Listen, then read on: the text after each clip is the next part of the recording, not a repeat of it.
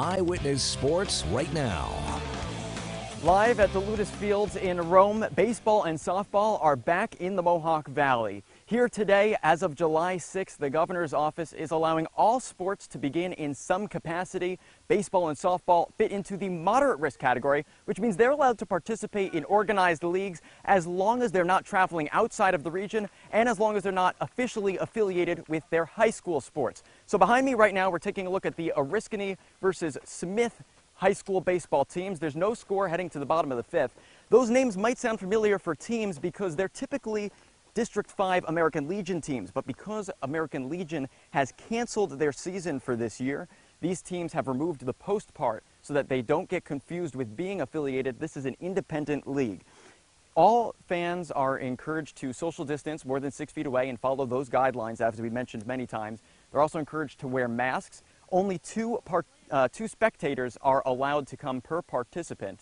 And right now on the field, the baseball players in the dugouts are encouraged to be wearing masks. Also, no gum chewing is allowed, and also no high fives and no uh, seed eating. What we do see some differences here as games have come back is that there are two umpires. The main umpire is behind the pitcher's mound giving the calls and strikes for balls and strikes rather than having three people near the batter's boxes, and they too are wearing masks. Also, a collegiate baseball league is expected to be playing here at the Ludus Field in Rome later this week on Wednesdays and Sundays. And also happening right now, an independent softball league has been put together featuring eight towns from Oneida, Herkimer, and Otsego counties. That league is playing at Wayland Park in Ilion.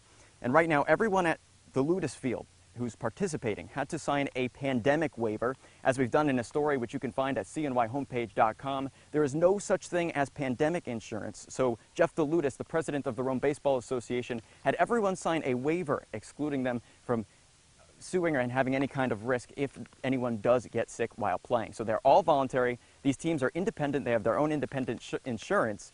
And they're getting back to baseball in the Mohawk Valley, something that we've missed live sports for the first time since early March. So we're going to have highlights for you about these games and the ones also going on in Ilion with the Softball League later tonight, as well as details on how they're going to progress. One of the major things that players and league organizers have told me is that they want everyone to follow the social distancing guidelines because they want to be playing these sports. And if those guidelines are not followed, all of them, the players and the league organizers told me that they will have no problem ending the games and shutting down the league if people do not follow the rules. So follow those rules. We'll make sure that we keep you updated. CNYHomepage.com and highlights later tonight on Eyewitness News first at 10 on WFXV and Eyewitness News at 11.